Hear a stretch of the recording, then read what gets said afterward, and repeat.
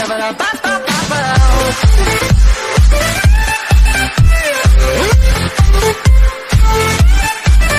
guys, it's Star Catz. Welcome to the first episode of Horses of Hyrule. Today we're looking at the first seven stables in Breath of the Wild.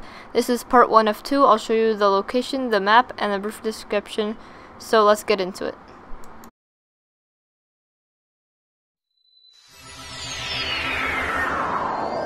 Okay, so the first stable we're looking at is the South Akkala stable in the Akkala region. To get here, just glide off west of the Akkala Tower and you you should practically see it right there.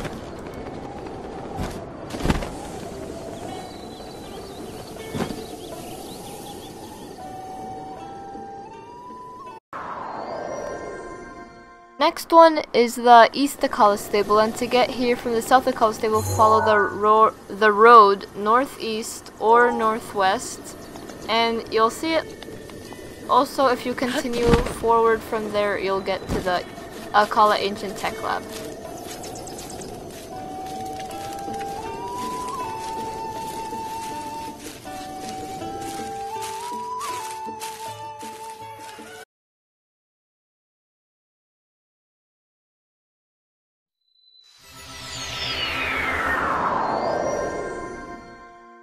To get to the wetland stable, just fast travel from the Daka Tuss Shrine, uh, which is in the Lanayru wetlands. You can easily head there from gliding off the one in Kakariko village, and just head and just head west until you see it.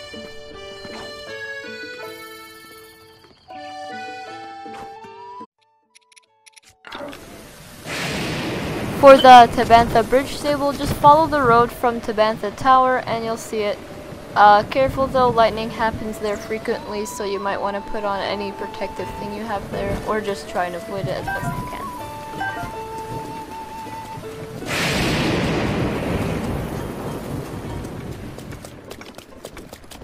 Revali's Gale is now ready.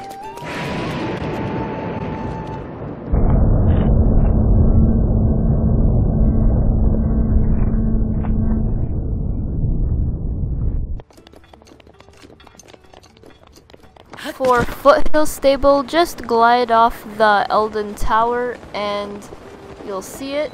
Uh, you'll probably make your way across this one first though to grab the elixir. However, uh, that's just a way to get it.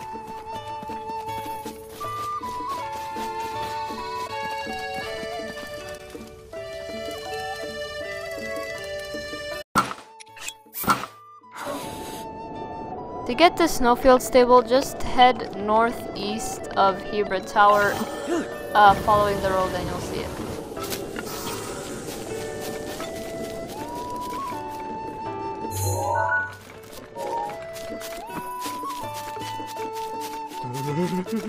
it.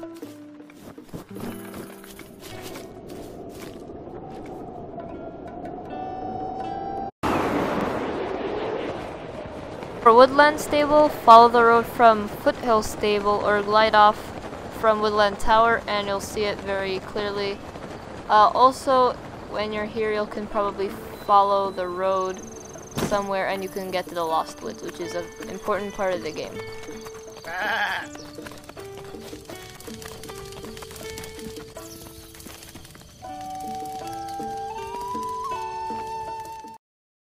Anyways guys, thanks so much for watching. If this helped, please hit the like button.